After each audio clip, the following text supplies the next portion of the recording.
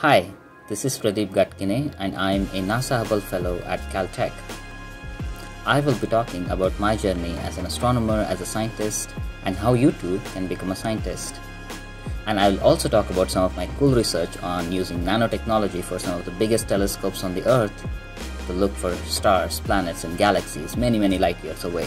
So tune in on this December 25th at 6 pm on the Kalam Labs live show and send in all your questions and I will try to answer them as much as possible.